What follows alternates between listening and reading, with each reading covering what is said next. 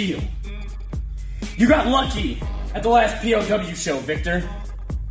And I hate to say it, but maybe I underestimated you. Maybe I got a little full of myself, and maybe I should have taken you as a little bit more of a credible threat than I did. That was a mistake on my part. A mistake I can assure you I will not make a second time. Because the thing about the Sex Pistol is that I never travel alone. The thing about the Sex Pistol is that I am as strong as the company that I keep.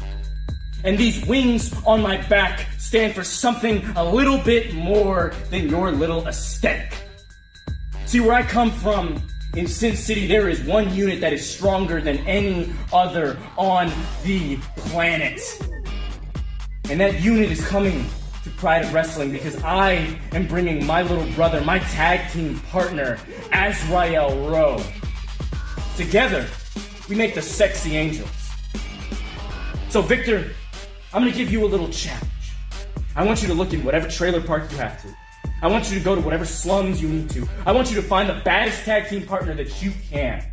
Because when the Sexy Angels come to your town, there are only three things that are certain gender is a social construct, disrespect your surroundings, and always fear the Reaper.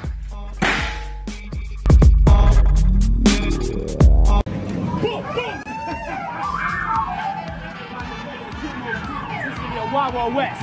So, Sammy, hit me up. Last month in the for POW, I had to deal with Noah, and I had to, he's apparently still haven't shaken up with the last cut screw I gave him. But now he had to bring his little pot posse Azrael Rowe just to cause more havoc with me. And that's why I need you, Sammy. Because you and I are not like the famous basketball players, like Kobe and Shaq, or MJ and Sky Pippen or LeBron and Steve Curry. Woo, Dr. J, baby. All I'm saying is that we need to teach Sexy Angel some respect. I got love for you. I know you got love for me. But they don't have no love for anybody, especially folks at POW. So let's collab and give them the remix beat that they deserve. Especially with this high score I'm getting right now. Oh! Damn, all right, you got first play. I tell you, that's why I need you as a tag team, man. that was the ball right there. So, on February 26th, Sammy C, VHS versus Sexy Single. I mean, Sexy Angels. And no love for you. What do you say? Homies for life. Oh! I'm telling you, it's gonna be awesome. So hold this happy and glasses down. See you in the next episode. Booyah!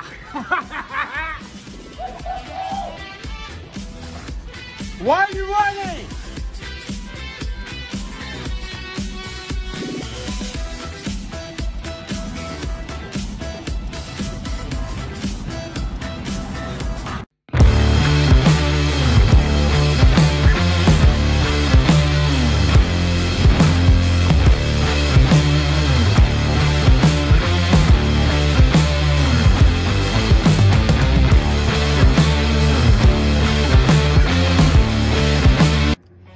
On February 26th, in a VIP match, I will be facing former POW Women's Champion, La Brava. Now, La Brava had a very impressive and dominant reign as their women's champion. I mean, 700 plus days, I gotta give credit where credit is due. But the thing about that is, is it's in the past. And we're looking at the present and we're looking at the future. Present is Devlin McCarberry is Florida's up and coming stars. And the future is that I'm gonna beat you. And I know what you're thinking. I know what you're thinking. Who are you? Why should I be worried? Oh, and this is gonna be a cakewalk for me. Yeah, I get it. Whatever. That's okay. Because you know what? While you're thinking that and you're taking me lightly, and you're probably asking where the competition is, I've been training. I've been getting stronger and better every single day, and I've been taking myself seriously, and I've been researching you. And you know what? I mean this in the most respectful way. I'm not threatened. I'm not threatened at all. This isn't gonna be a cakewalk for me, and La Brava, you're probably going to be one of my toughest competitors. But you know what? I have confidence that I'm going to prevail. I believe in myself, and that's all that matters. So you know what? On February 26th, I am confidently going to say this. I'm going to beat you. I'll see you there.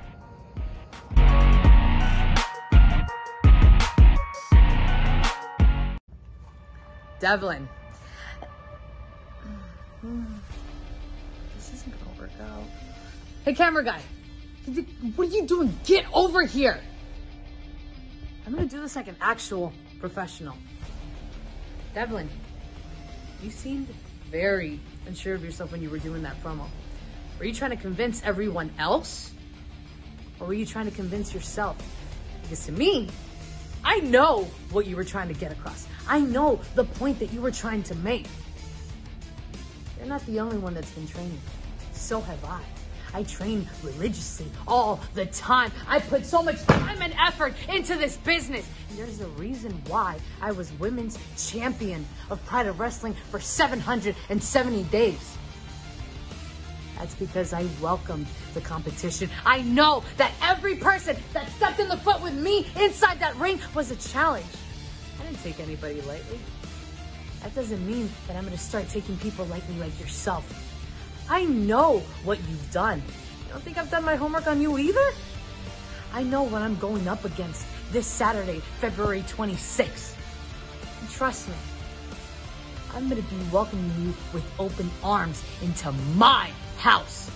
And as for you, Natalia Markova, Pride of Wrestling Women's Champion, the biggest pretender of them all, I have a lot to say to you this Saturday.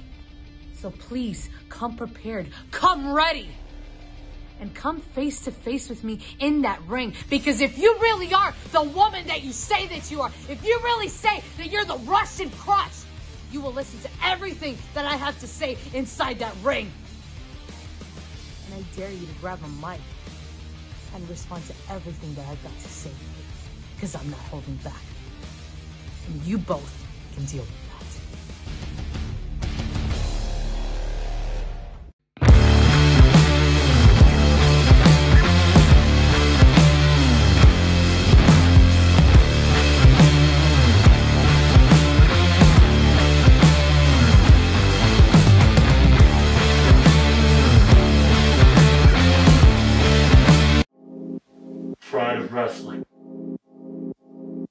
My name is Jace Maxor.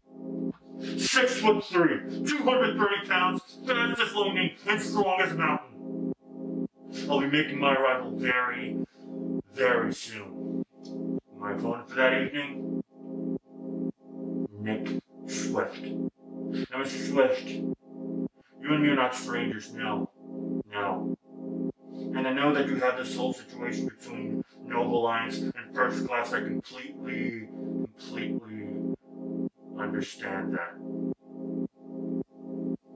But you see, the one thing that I feel that you are not understanding, that I need you to understand, is that it's because of you, it's because of your failure that she's an opportunity at Nova.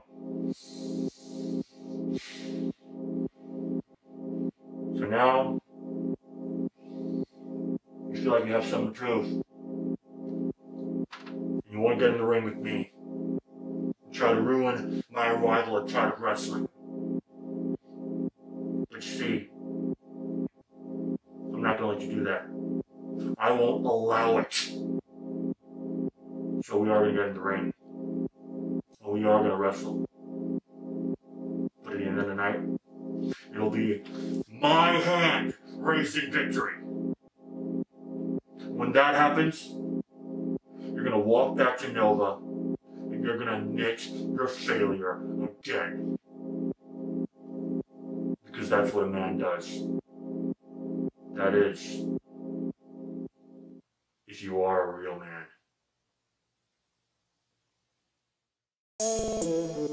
You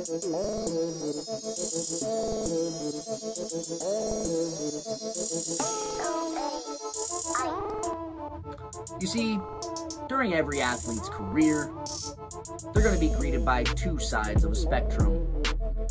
They're going to bask in the highest of highs, and they're going to sorrow in the lowest of lows. Now, what truly makes an athlete elite status is when they can take that margin and make it the thinnest of gaps. Now, last month, truly one of my lowest lows, an absolute embarrassment to the Alliance. But they always say that the comeback is greater than the setback, and I always come back. And that's why this month, February the 26th at Pride of Wrestling, when I come back against Jace Maxor, a newcomer, I plan on making his debut, well, let's say an exclusive appearance. I plan to make an absolute example out of this kid. And I'm to show everyone in attendance why the Nova Alliance is just too swift.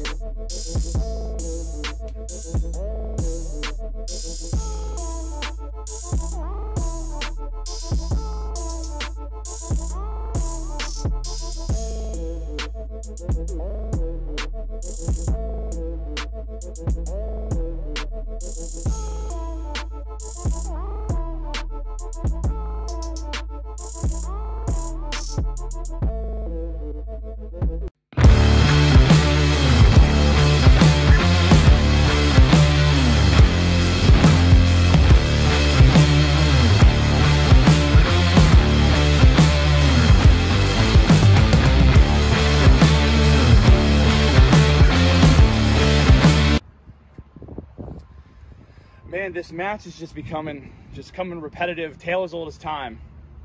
Us and the Gifted, Red Sox and the Yankees, Bears and the Packers. It's going to be talked about forever, man. I'm just getting tired of it, but we have to do what we have to do. You guys are coming into POW acting like you're a big deal when you wouldn't be anything in POW without Aaron Nova.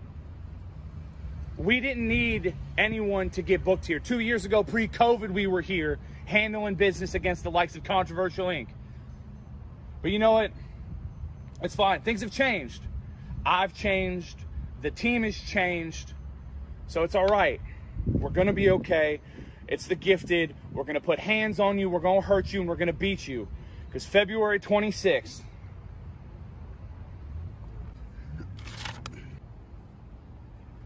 you may be bringing the Nova Alliance, but I'm bringing hell with me.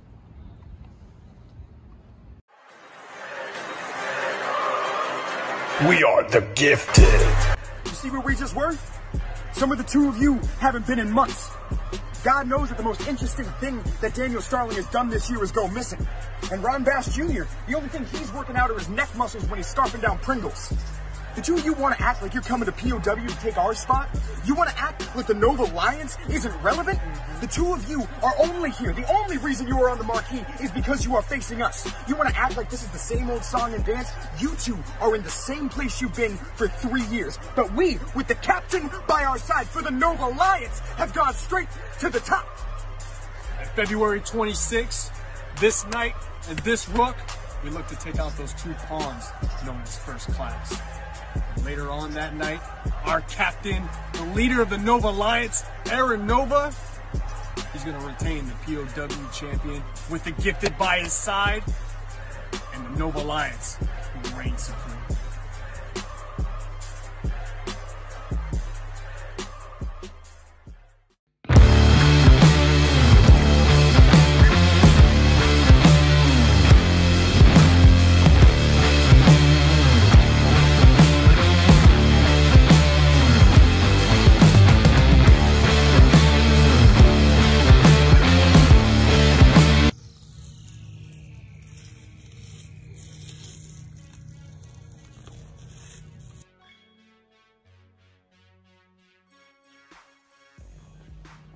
February 26th, I'm making my POW debut.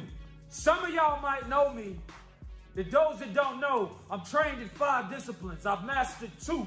I won four international karate tournaments. I've beaten three men in one night. I am the baddest man alive. You're looking! And you will know my name. Leroy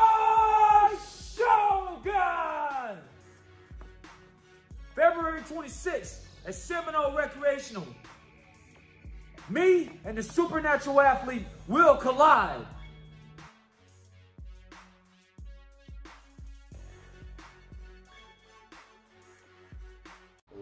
Wow, Damon, you seriously made this for us? Oh my gosh. Just trying to show my appreciation for you, that's all. Oh my god, don't even mention it. I'm sure you would also, you know, strangle somebody or just dump him into the river. They called me crazy. yeah, it's whatever. It's whatever. Hey. Anything for you, babe. Oh, baby.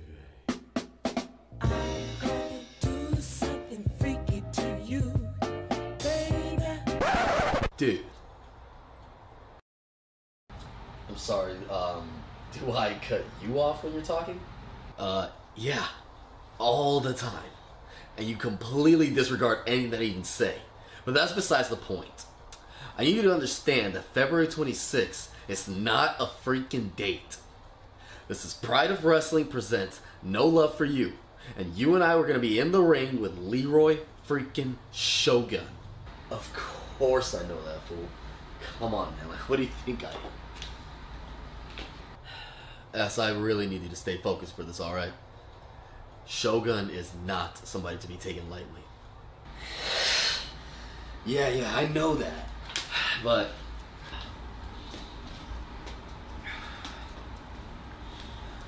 But I'm not somebody to be taken lightly either. And for that matter, neither are you. I'm not scared of him, Damon. And you know you're not either. You think Shogun's gonna actually gonna wanna fight us if we were scared of him? Shogun does not fight pussies, Damon. Shogun fights men. So I'm gonna need you to get your stuff together, give your balls a tug, because together, we're gonna take him out. Together, you and me, Damon. We're gonna make Shogun succumb to his fears. We're gonna make him drown in his fears. And we will pull him under.